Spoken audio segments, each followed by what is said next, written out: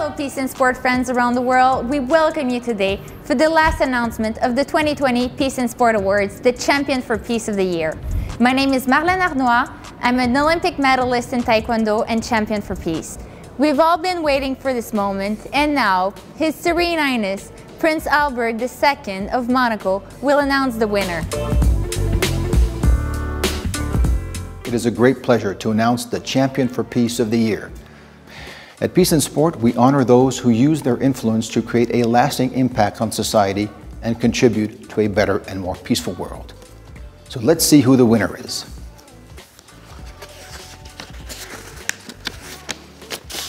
The champion for peace of the year is Lionel Messi. We believe that the example he sets as a role model for fair play on the field and also his social contribution makes true impact in today's society.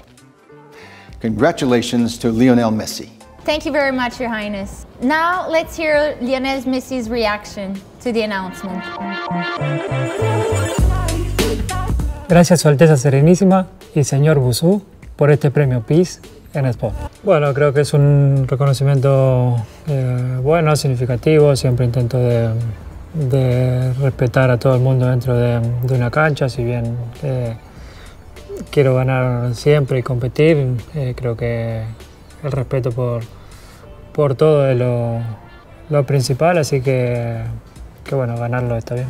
Eh, planes, gracias a Dios, pudimos ayudar a, muchísimas cosas, a muchísima gente de, desde que se creó la, la, fundación. Era uno de los objetivos eh, mío y de toda la gente que trabaja alrededor por, por ayudar a los más desfavorecidos y por suerte lo pudimos hacer y lo seguiremos haciendo mientras que, que se puede y ojalá sea por, por muchísimo tiempo.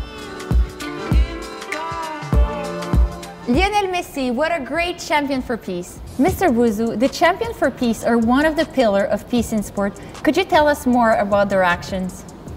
Yes, uh, absolutely. The champions for peace uh, play a fundamental advocacy role within uh, peace and sport.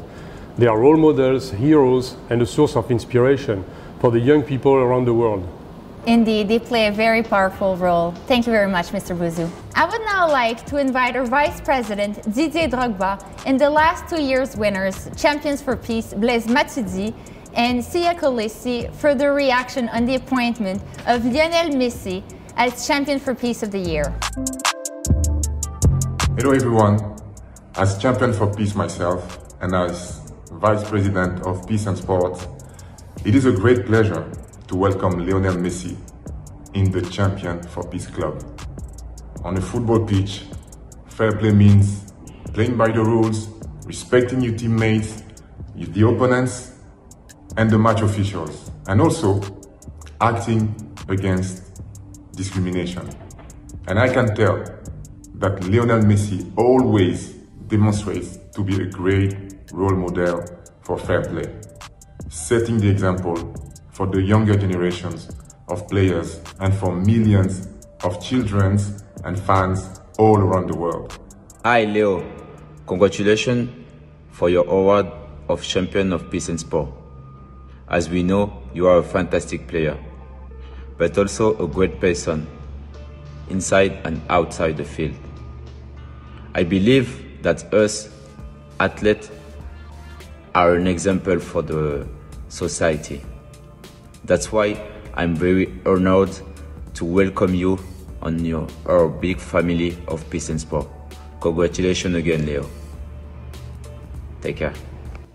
Hola Lionel Messi, uh, Siya here from South Africa. Um, I want to say congratulations for being the champion for Peace of the Year. Um, you've really done an amazing job on and off the field. Uh, you're an amazing role model.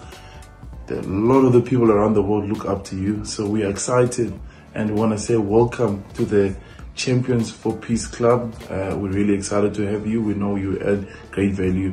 We can't wait to meet you and see you and work with you in future. Thank you for everything you've done. You're an amazing man. Muchacho gracias. We thank all of the champions for peace for their great works. Yes, it is true. We Champion for Peace have an amazing mission. We have now come to the end of the 2020 Peace and Sport Award celebrations. Thank you, Marlene. Once again, I welcome Lionel Messi in the Peace and Sport family. It has been a great journey filled with outstanding Peace Through Sport initiatives, fantastic personalities from the Peace and Sport movement, and beautiful places of Monaco. We would like to thank our official partners, Zepter and My Coach, and of course, all of you who followed us through this digital edition. We hope you've enjoyed it as much as we did. Follow Peace and Sport on social media and do not miss the closing message from Peace and Sports Vice President Didier Drogba on December 19th. See you next year for the 2021 edition of the Peace and Sport Awards. Thank you very much and goodbye.